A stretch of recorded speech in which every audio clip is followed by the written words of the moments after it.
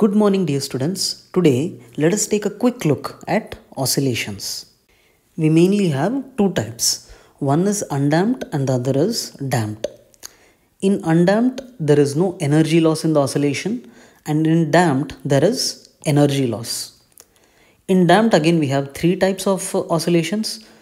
We are going to take a look at each of these oscillations at equation level, and also, very importantly, we are going to look at a practical example. We are going to apply each of these equations and look at a practical example so that the understanding of each of these oscillations is very clear for you. The first is undamped oscillation. A special case of undamped oscillation is simple harmonic motion. Let us pull this block down slightly and observe simple harmonic motion.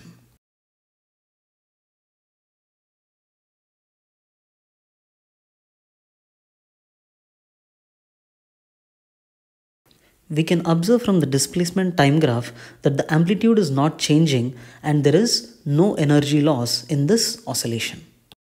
Let us take a look at the force on this block and write down the SHM equation.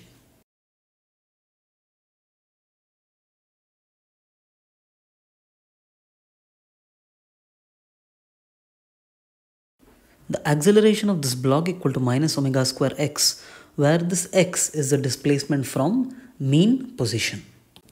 Solving this we get the equation of SHM which is x equal to a sine omega t plus phi.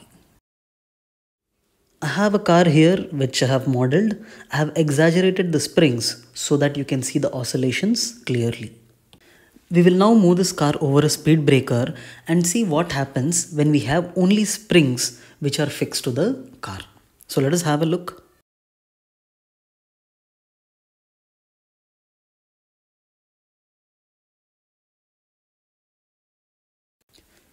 When we have only springs, the oscillation energy is not dissipated and the car continues to oscillate. So this wouldn't be an ideal setup for a car. We would require dampers which would remove the oscillation energy and keep the car stable.